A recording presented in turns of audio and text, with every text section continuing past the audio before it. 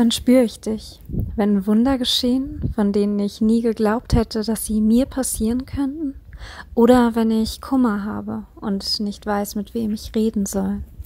Gott, ich bitte dich, sei da, sei mir nah. Ich glaube, ich spüre Gottes Anwesenheit am stärksten, wenn es mir schlecht geht und ich Probleme habe tatsächlich, weil ich da seine Nähe am meisten suche bewusst, aber ähm, gleichzeitig spüre ich seine Nähe und seine Anwesenheit auch sehr, wenn ich schöne Dinge erlebe und dafür dankbar bin. Äh, zum Beispiel, wenn wir mit den Konfis über Gott sprechen oder Dinge mit ihnen veranstalten. Und ähm, eine weitere, weitere Situation, die mir dazu eingefallen ist, ist, dass äh, oft, wenn ich in der Natur bin und schöne Dinge sehe oder etwas sehr Besonderes sehe, dass ich dann daran denke, dass äh, Gott das erschaffen hat und ähm, da in solchen Momenten fühle ich mich Gott auch sehr nah. Ich spüre Gott in meinem Leben, wenn ich traurig bin, aber ich spüre ihn vor allem in meinem Leben, wenn ich glücklich bin. Zum Beispiel, wenn ich meine Familie, meine Freunde um mich habe. Aber am meisten spüre ich ihn, wenn ich in einer Gemeinschaft Gottesdienst feiere, beim gemeinsamen Beten und beim gemeinsamen Singen.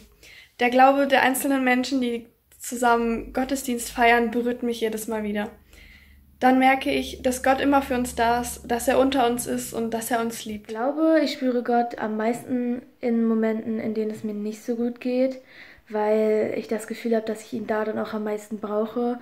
Aber ich hatte auch schon irgendwie super viele Situationen, in denen ich total glücklich war und gemerkt habe, dass er gerade bei mir ist, weil ich einfach total dankbar war, das auch jetzt gerade erleben zu dürfen.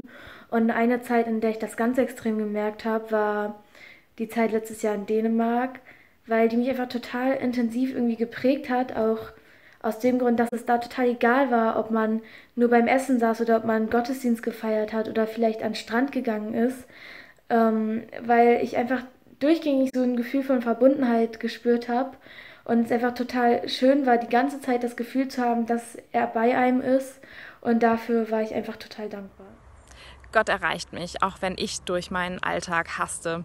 Diese Woche hat er mich erreicht durch eine Online-Pastorin, der ich folge. Theresa liebt. Die hat mir mit ihren Gedanken zu Gott einfach einen richtigen Gottesmoment beschert. Gott ist immer bei mir, da bin ich mir ganz sicher. Nur in manchen Augenblicken merke ich eben mehr, dass er bei mir ist, als in anderen. Am allermeisten merke ich, dass Gott bei mir ist, wenn Sonnenstrahlen mein Gesicht mit seiner Liebe wärmen. Gott sei bei mir, wenn die Wellen höher schlagen. Sei bei mir, wenn das Meer um mich tobt. Sei bei mir, wenn der Sturm mich niederdrückt. Ich hoffe auf dich. Halte mich. Amen.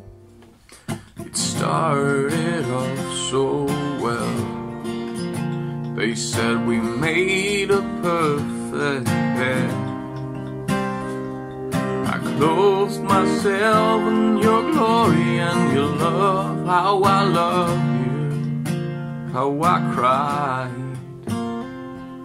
The years of care and loyalty were nothing but a sham, it seems.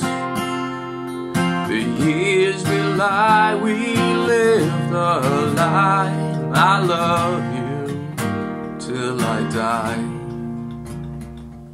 Save me, save me, save me. I can't face this life